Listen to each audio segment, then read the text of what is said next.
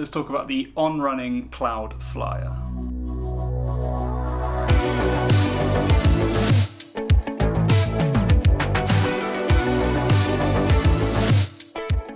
Okay, so before we talk about what I like about this shoe, let's go through some specs. So they have a 7mm drop, they weigh 280 grams, they are true to size, and they cost 140 pounds. They come in four different colours for men and four different colours for women.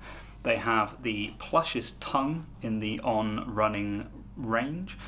They have some of the largest clouds in the on-running range. They have an ultralight engineered mesh upper they have the new star lacing pattern. It also has a midfoot stability tube which combines support with a foot hugging feel and it has a 3D molded heel which is slightly wider to improve stability. Finally it has a Helion and CloudTec combination which gives lightweight agility and heavy impact protection. So let's jump into some likes and dislikes. So the first thing I like about these shoes is the tread. The tread is really good. I pretty much with every on running shoe that I've ever had, I haven't really had any problems with the tread. Um, you can see here on this one that there's actually like, it's a little bit worn back here on the heel. Um, and that is probably due to my bad running form. But overall, these are great. Run up some, like we've just come out of basically a month of rain every day pretty much here. Um, so these in the wet have been pretty good really like haven't really had any problems drain covers fine leaves fine yeah the tread sticks really well even up or down a really steep hill uh, I feel really comfortable in these um, just I'm not I'm not too worried about where I'm putting my feet and worried that they're going to slip. Um, yeah, the, the tread just holds up super well on these. The next thing is these large clouds. I, I really like the CloudTec on this. It I think this is probably the shoe where the CloudTec shines the most because they're so large.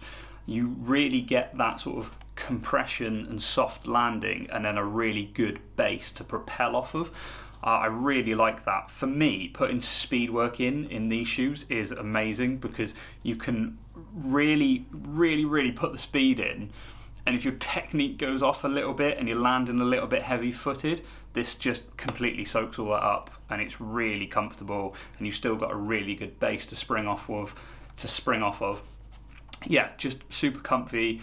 Um, love yeah love the CloudTec on these and the, yeah the larger pods are just really really nice underfoot another thing is this star lacing pattern this is wicked so this hugs your midfoot really well but also allows your toes a lot more space.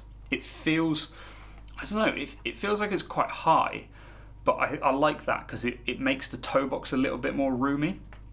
And then it also, you've just, along with this like super plush tongue, it really hugs your midfoot well. Um, and the, yeah, the shoe is just like it's like stuck to your foot like glue. It's it's brilliant.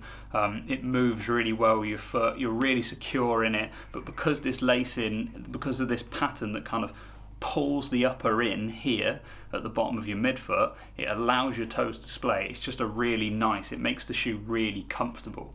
Uh, I really like this to run in. It's it's a super comfy shoe. Next is airflow. These have got loads of airflow. Um, I ran in these yesterday and it was the hottest day of the year. Um, not that that says much because I live in Wales, but um, yeah, it's uh, they're they're really good. I don't overheat too much in these. Over the winter, I've been wearing some thicker socks in these, uh, and even on a, a, sort of like a faster paced run, um, I don't really overheat too much. Uh, yeah, really good. I haven't tested them in the summer yet, so I can't vouch them for the summer, but I know from other on-running shoes that I've worn over the summer that they have been really good for airflow, um, and this has got a fair amount of it. So yeah, really good. And then my final like for these shoes is the stability of them. Because it's all just a little bit wider and you've got these big clouds, they're a really stable shoe.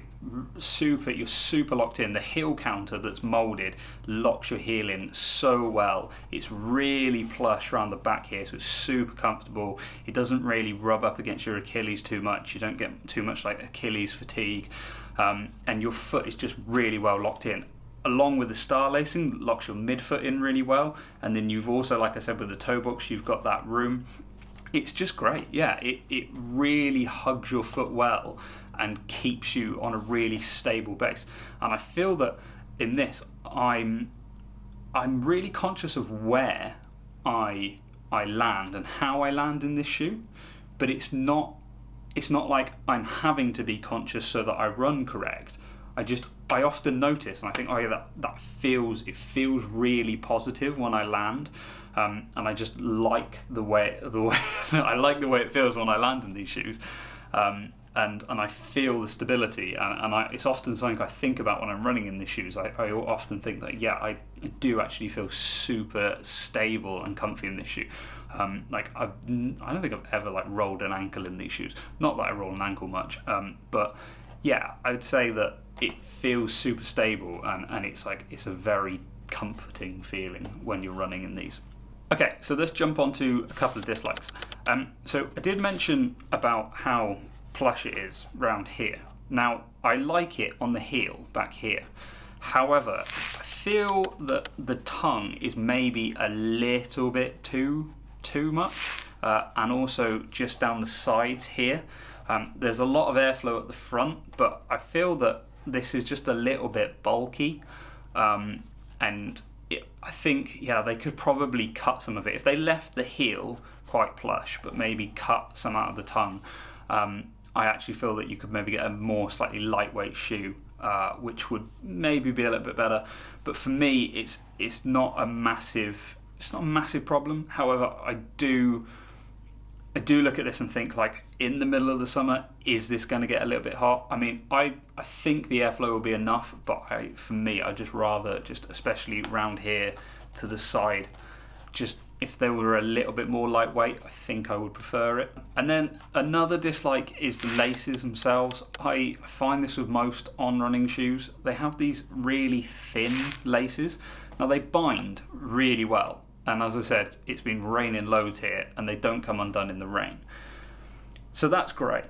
But if they do ever come undone, if it's cold, they're just impossible to retie. if your hands are freezing, or if you've got gloves on, you're not retying these with gloves on, or at least I'm not.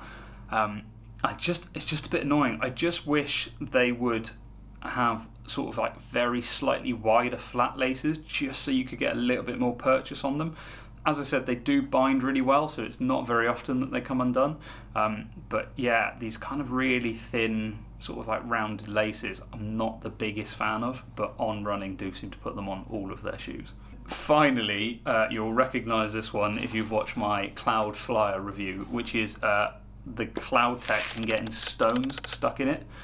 Now, this one is this middle patch here is quite bad for it and at the heel is quite bad for it um, because there's quite big grooves here.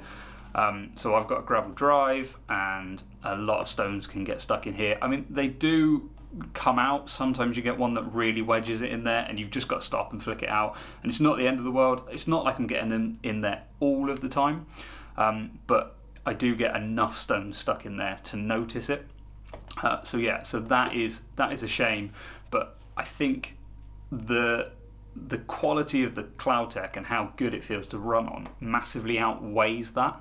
So if the price for having such good cushioning and sort of stability from the CloudTec is getting a few stones stuck in it every now and then, I'm quite happy with that. Um, it's like if I weigh them up against each other, I'm like, yeah, actually, I kind of don't care about stones. I'm more than happy just to flick them out. Um, and it's not like it's not super often that you get one that gets really stuck in there and grinds along the floor for ages. Like quite often they do just stay in for like four or five steps and then they flick out. Um, but it's something something to know. If you're like if you're not going to be getting these for trails, I don't think. Um, they're definitely a road running shoe, um, and if you live in a very gravelly area, maybe it would be very annoying. Um, but I mean, generally, once I'm past my drive, I'm all right. So I use these shoes as my for my interval sessions and my tempo run. So anytime I want to push the pace, this is what I use. Any distance, really. So um, if I'm going for a 5k time trial, I'm going to go with these.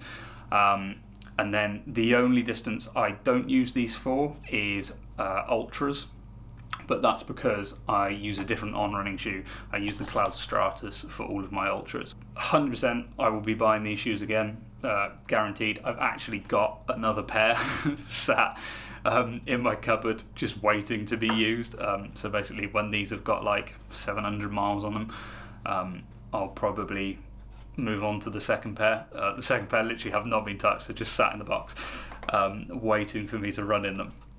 But yeah, these these are wicked and I they fit so well on my training plan in the shoe rotation that I have. They work perfectly. Uh, yeah, I I I'd recommend these to anyone who wants a shoe that can basically they can take up to marathon distance. Even beyond if you wanted. I mean you could definitely run an ultra in these. The only reason I don't is because I have another shoe specifically for that. But if you wanted one pair of shoes that you could do all your speed work in and run any distance in, yeah, these are these are going to work perfectly for you. Um, the cushioning is enough, the stability is enough. Uh, they load well, they're lightweight enough that you can push the speed. The airflow is great. Yeah, I think these are a really, really good all-round shoe. For me, they're definitely my speed day shoe. So there we go. Thanks for watching, guys. Let me know what you think about them. If you've tried them or want to try them, drop your comments below. Also give the video a like and subscribe to the channel if this is the type of content that you like. I'm going to be doing a lot more reviews hopefully this year. Uh, putting them out sort of like one every other week. I think that'd be a good schedule. And then I've also got the weekly training vlog, which is all about me training for a 100 mile ultra marathon towing a drum kit, which will be in South Wales from Cardiff to my home county of Pembrokeshire. Uh, it's going to be a bit mental and it's not far away because it's happening in July, so that's a bit mad, a little bit terrified. So if you want to follow along with that, that'd be great. And that whole ultramarathon is for the amazing charity which is Cardiac Risk in the Young. So if you do want to follow along with that and maybe even donate some money, that would be absolutely amazing. All links are in the description. So thank you very much for watching guys and I shall see you in the next one.